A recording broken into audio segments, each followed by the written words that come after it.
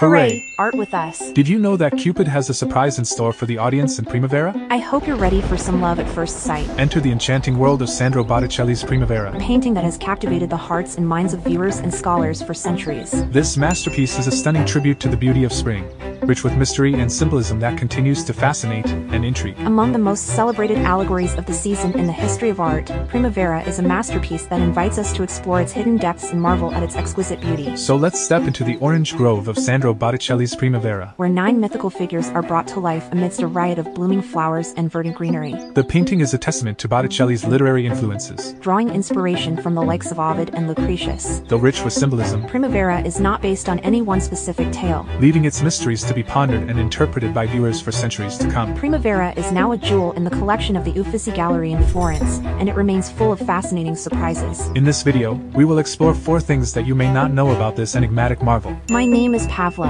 and welcome to my channel. If you're new, check out our channel by clicking our name below the video. If you like our content, subscribe and turn on notifications. Join me, an artist passionate about sharing knowledge.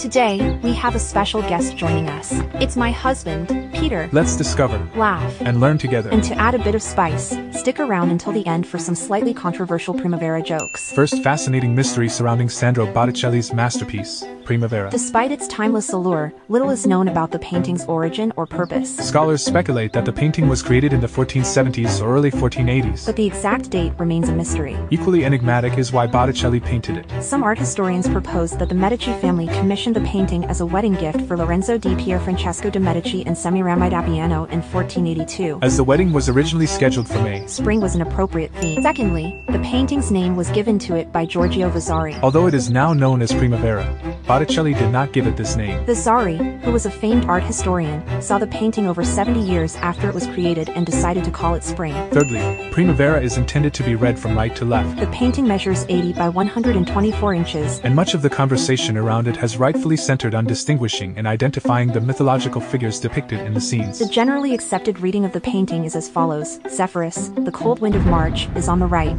clasping the nymph Chloris, whom he will kidnap. Zephyrus will later marry Chloris, who will be transformed into Flora, the goddess of spring. Botticelli has signaled this transformation by overlapping the figure of Chloris and that of Flora, who appears as the third figure from the right, elegantly scattering flowers. At roughly the center and slightly to the back of the composition is a figure widely agreed to be Venus, in a dress of gray blue and a red shawl. Above Venus is her companion, Cupid, blindfolded, with his arrow aimed. Three graces appear next in diaphanous, transparent white dresses, and at the far left appears the god Mercury. Many have interpreted the sequence of these mythological figures to suggest the progression of the season, with Zephyrus of March, followed by Venus, the goddess of April, and Mercury, the god of May, raising his caduceus towards wisps of clouds to disband the final bursts of cold as summer prepares to take the stage. Finally, Primavera embraces compositional approaches from earlier Gothic styles, rather than the mastery of perspective and space exalted in artworks of the Renaissance era. A whopping 500 plant species are said to have been depicted in the painting, with nearly 200 different flowers, of course,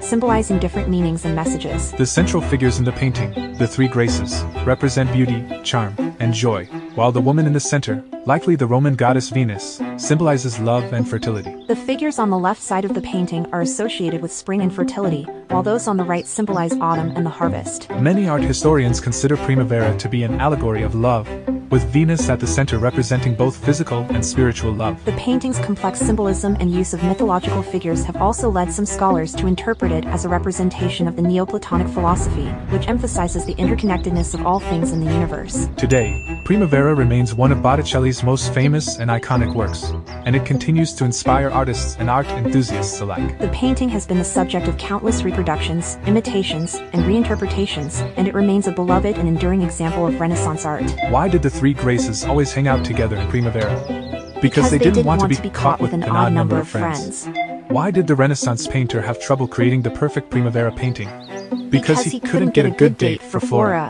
What did Mercury say when he saw the flowers in Primavera? This, painting, is, is blossoming with beauty. Before we go, I have a question for you. Did you enjoy having my husband Peter as a special guest in today's video? Let us know in the comments below. We'd love to hear your thoughts. Take care with love. And check out the full Renaissance playlist in the description below.